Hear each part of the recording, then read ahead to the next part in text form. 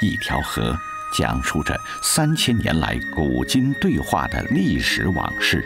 呃，明清的时候，这皇宫里头的一些个珍玩，都是通过这里头呢输送出来，也输进去。当时是一条重要的商业运输通道。一座城记录着代代相传匠心营造的传世技艺。咱们老祖宗的东西都很好很好的，你要是用你的双手、用你的精力、用你的心血和情感做出来的东西，那才是自己的孩子呢。传承。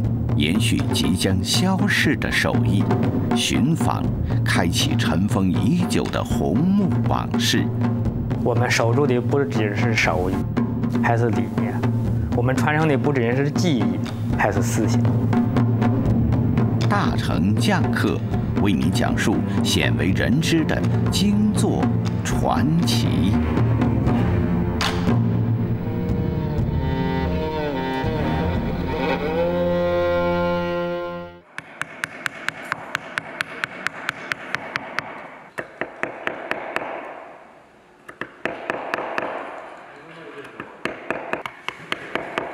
城县的一间手工厂房里，一件九层云龙雕刻即将完成。经过粗坯、细坯等十几道工序后，二十八岁的郑国艳正在进行修光程序。就是把这个龙和这个云的形状修出来，修出来有立体感，让它看着更立体。在中国传说中。龙是一种善变化、兴云雨、利万物的神异之物。在屈原的笔下，龙是奔驰于云天的坐骑，传递着高洁的情怀。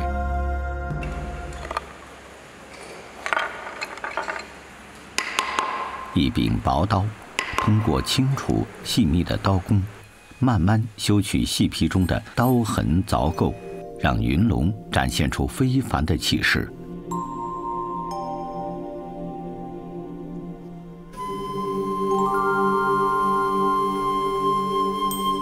宝座上是三条盘龙，首尾相连，匠人的刀法纤毫毕现。屏风上深浮雕的九层云龙，让康乾盛世的奢华扑面而来。云龙雕刻是寰宇的情怀，是生命的姿态，是兼容并包的道德哲学，也是大成匠人精神的凝聚与沉淀。《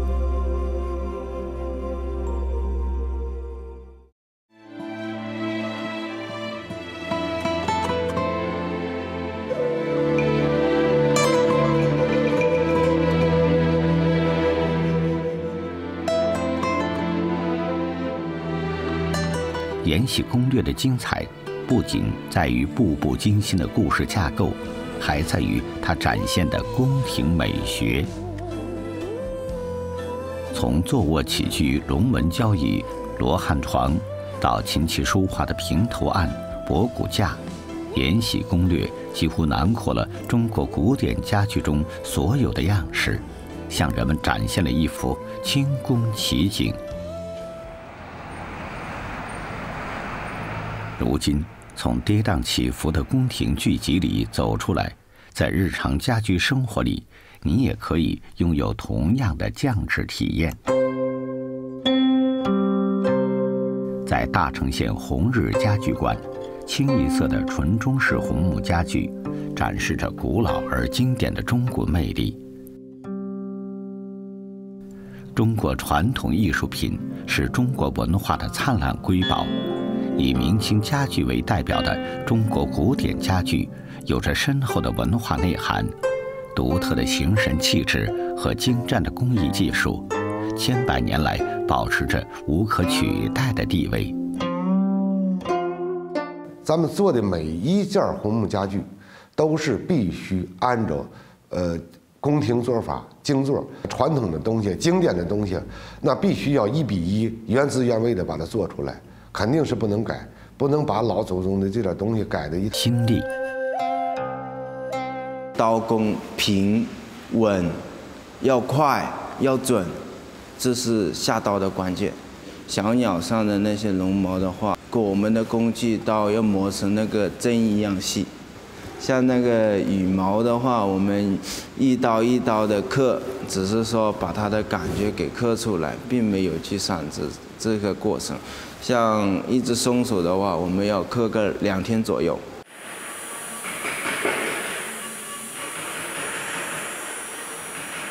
九零后的丁建峰，已经是工龄十余年的雕刻匠人，从当初拜师习画的学生。到如今独当一面的木雕匠人，影雕、丝灵弹雕，已成为他的看家本领。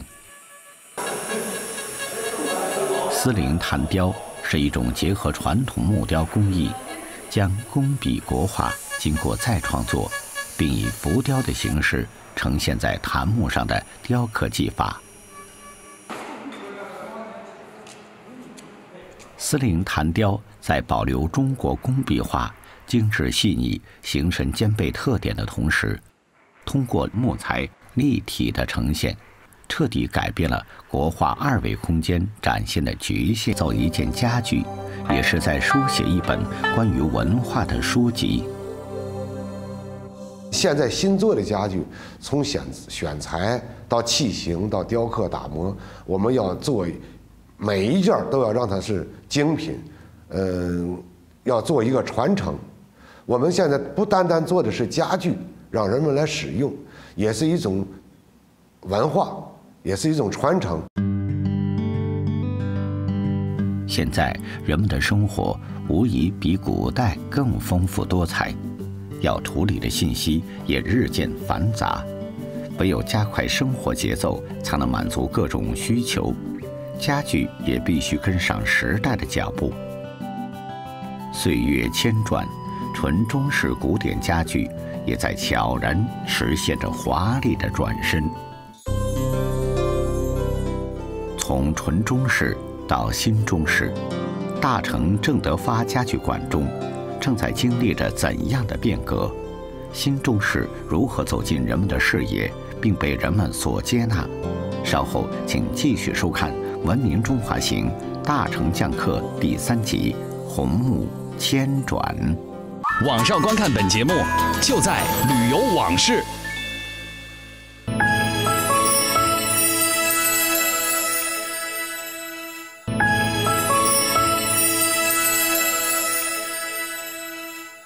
什么新中式？就是现在的实木家具嘛，改成用花梨木、用雪檀做了。也别说新中式外不好，这样说肯定是不对的。这是好友之间的一场茶会，也是企业经营理念的一次碰撞。这样的讨论在他们的生活中已是平常。咱们四大家应该打一个品牌，在淘宝上、在天猫上、在京东上做一个团队卖。三十多年的风雨历练，让他们从年少的木工匠人蜕变为大成红木界的精英代表。从去年设计一款，设计一款呃新中式。新中式看到现在卖的老断档。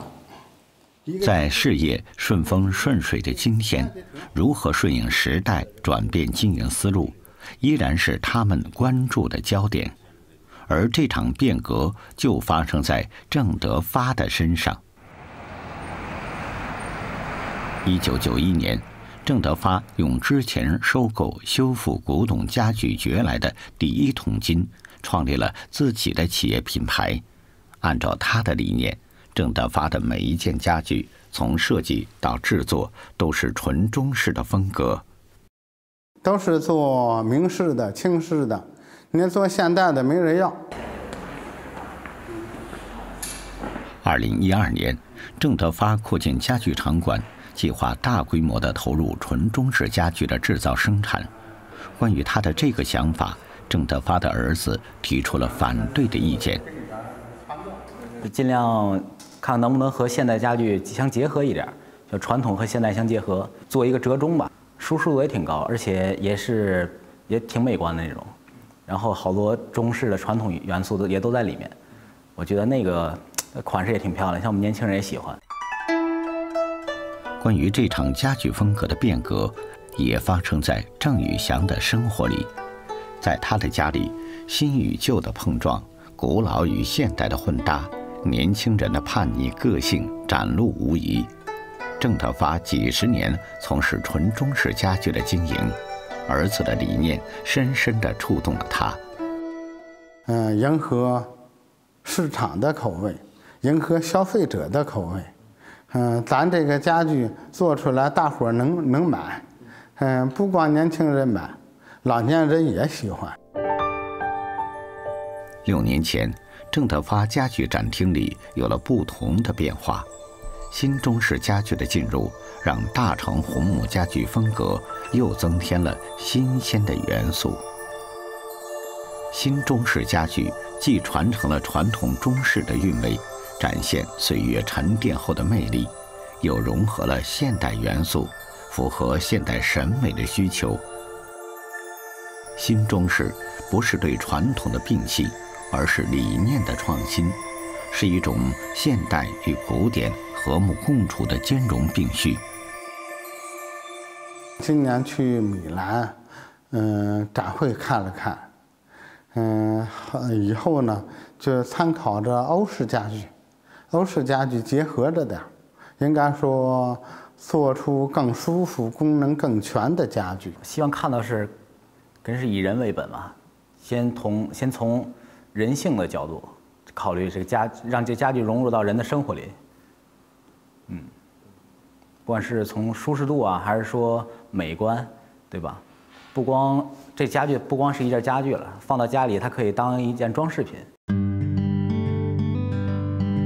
新中式家具是现代人的审美需求的回归，打造富有古典情调的生活空间，就要找到完美的平衡点，以更轻盈、质朴、自然的方式呈现出来。用简练的线条表达深远的意境，用质朴的纹理传递古雅的气韵。像这边这套客厅的这套，嗯，这是一个系列，祥和。沉淀千年的东方生活美学，没有在时代的洪流中消退，以实用却不失内涵的设计站稳脚跟，散发着时尚的历史魅力。因为这个呢，就是。年轻人跟老年人这个融合到一块儿了，我儿子呢也也能接受，比较古典那个我儿子就不太能接受，所以说这个老年人也能用，年轻人也能用，就综合了大家的爱好，综合在一块儿了。我觉得我挺喜欢的，主要是很多这些线条啊什么的，我觉得比较适合年轻人现在的这种追求。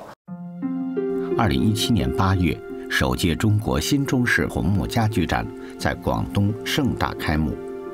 在这次展会上，以新中式为主线，突出关于设计、关于文化的主题，凸显当代红木家具的文化内涵和艺术魅力，筑牢新中式家具发展的产业基础。二零一八年，国家提出“中国制造”。要来一场品质革命，伴随着中国品牌日的诞生，各行各业都在积极向中国品牌转变。从纯中式到新中式，红木家具的风格迁转，需要不断输入新鲜血液和补充有梦想的新锐力量。未来的新中式红木家具，不仅引领着产业的变革。也将成为当代中国人雅致生活的参考方式。一间私人博物馆里收藏着大成人怎样的家国情怀？走进红木精英，他们的内心世界里又放置着怎样的红木往事？明天同一时间，请继续收看《文明中华行》大成匠客第四集《大成典藏》。这里是旅游卫视。冬日安静的院落里，一件玩具就可以让大城的孩子们度过一段愉悦的时光。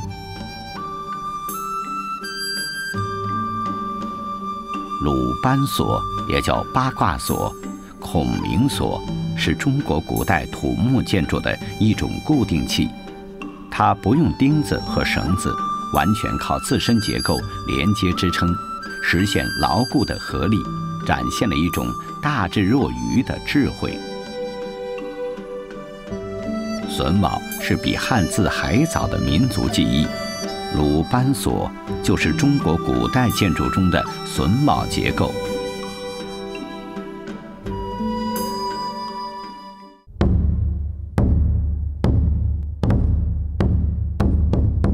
It's the biggest palace complex in the world, with almost 10,000 rooms.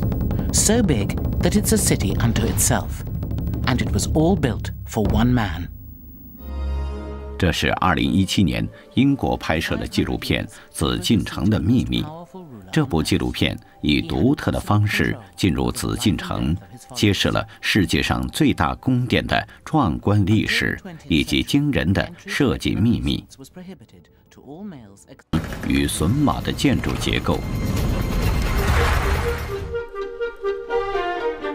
木构件上突出的榫头与凹进去的卯眼，简单的咬合，并将木构件结合在一起，是中国古代建筑、家具及其他木质器械的主要结构方式。榫卯使用得当，两块木结构之间就能严密扣合，达到天衣无缝的程度。榫卯是古代木匠必须具备的基本技能，工匠手艺的高低，通过榫卯结构就能清楚地反映出来。这个榫卯结构是咱们这个古典家具名式全椅，呃，一圈上的一个结构。这个结构呢，是一个非常传统，而且非常讲究的一个结构。它巧就巧在，这个榫卯一旦要是结合上去，靠中间一个销，只要是这个销打进去，它就不会坏，把整个的力全集中在一起，而且是能可以做到几百年不坏。一九七三年，在余姚市河姆渡镇，考古专家有了惊人的发现。距今七千年前，原始先民们居住的木结构房屋就已经出现。大量榫卯构件的出土，让人们看到了榫卯工艺最原始的样貌。榫卯结构就像中国的京剧一样，是中国的国粹。因为这个榫卯结构啊，它是经过上千年的提炼，是每一代艺人，就是说文人、能人。就是说，通过每一代的，就是说改良遗传下来的，而且呢，就是说这个红木家具，如果说没有榫卯，那只是一种粗糙的制作方法。榫卯被称作红木家具的灵魂，将红木家具活拆组装，是榫卯工艺最严苛的检验方式。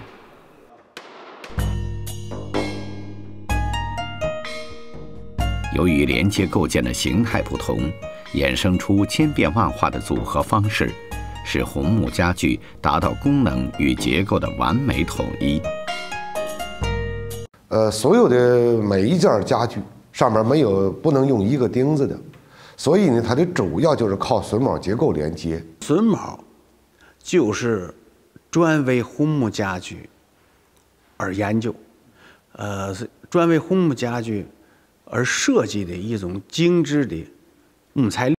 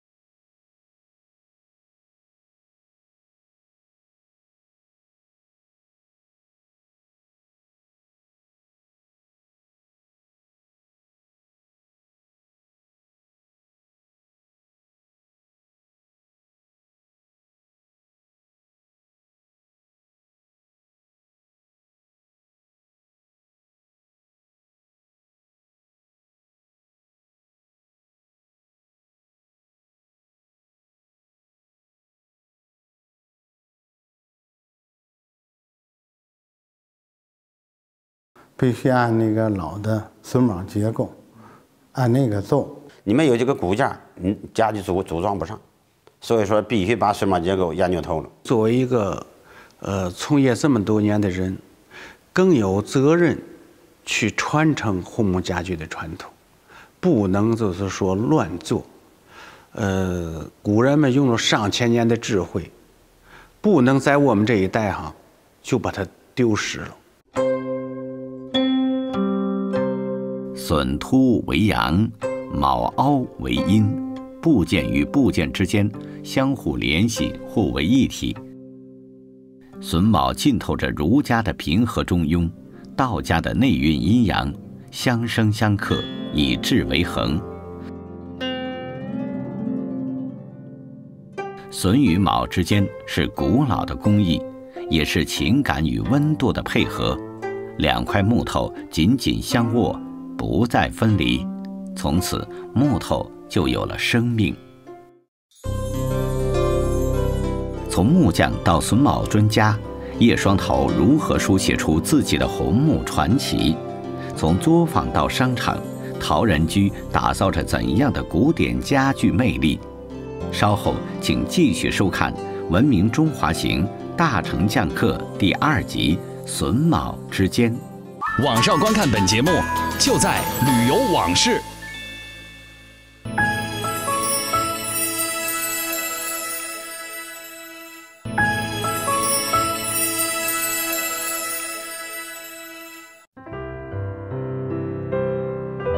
上个世纪八十年代初，叶双桃刚刚二十出头，迫于家境需要，他按照老人的意愿做起了木工活。三十多年过去了，曾经的少年已过中年，当时用过的工具依然放在身边。对叶双桃而言，木匠这种营生一直没有远离他的生活。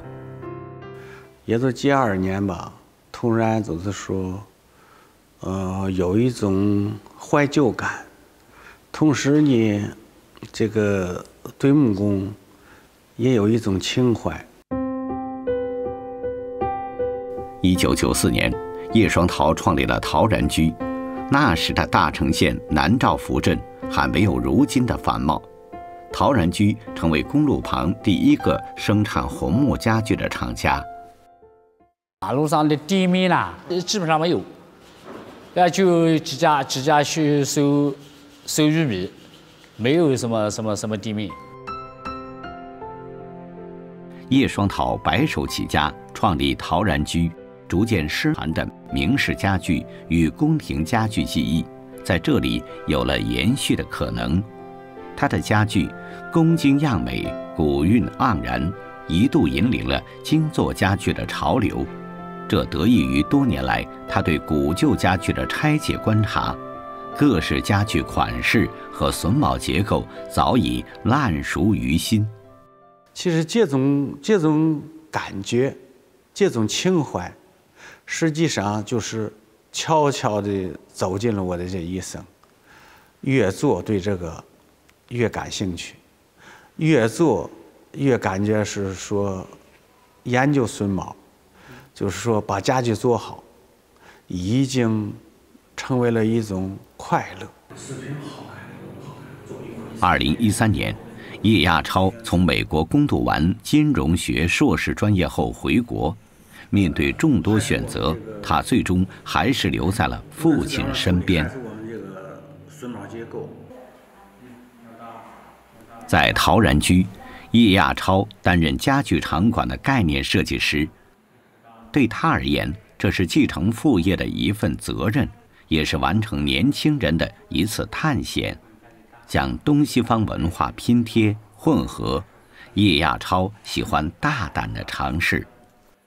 因为我设计的改造理念就是，嗯，首先来说肯定是更突出我们家具的美，其次是我想就是营造给客户就是一种生活方式，或者是。是对我们中式家具一个更好的感受，一个体验。我想通过我的家具，重新为我们国民，就是有一个精神的回归，一个文化的回归。如今，陶然居走过了二十个年头，当年的小作坊已发展成占地四十亩的红木家具领军企业。陶然居经营的明清两代的仿古家具，坚持榫卯结构，完全按照传统工艺打制完成，床榻、桌案、椅凳。一件件携带着古韵的红木家具，从大城走到广州、北京、上海，又漂洋过海进入美国、德国、新加坡的家庭。